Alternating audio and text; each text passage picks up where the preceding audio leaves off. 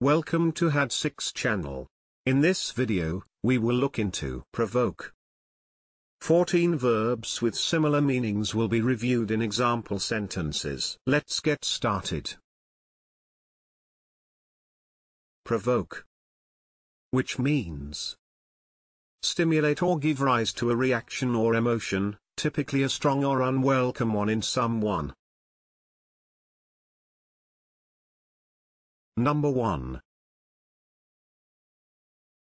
Beget. Which means cause.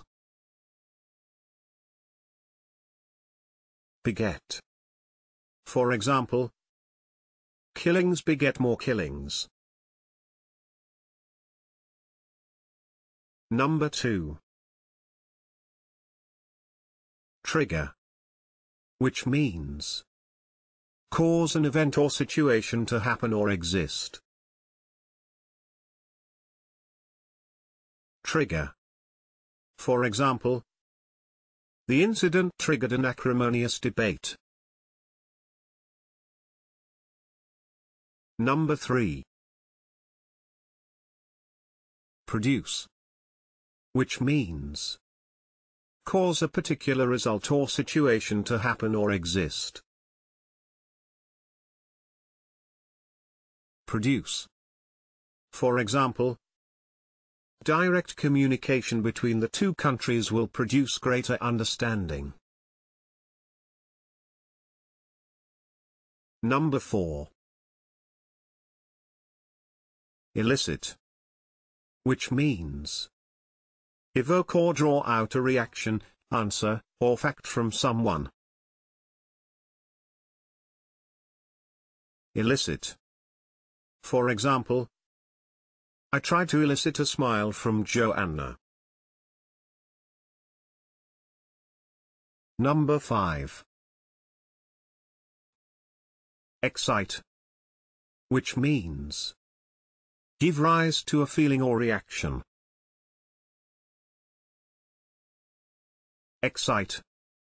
For example, his clothes excited envy and admiration. Number 6. Engender. Which means cause or give rise to a feeling, situation, or condition. Engender. For example, the issue engendered continuing controversy. Number 7 cause. Which means make something, especially something bad happen. Cause. For example, this disease can cause blindness. Number 8. Generate. Which means Produce or create. Generate. For example, changes which are likely to generate controversy. Number 9. Occasion. Which means cause something. Occasion. For example, her situation occasioned a good deal of sympathy. Number 10. Precipitate. Which means cause an event or situation, typically one that is undesirable to happen suddenly, unexpectedly, or prematurely. Precipitate. For example, the incident precipitated a political crisis. Number 11.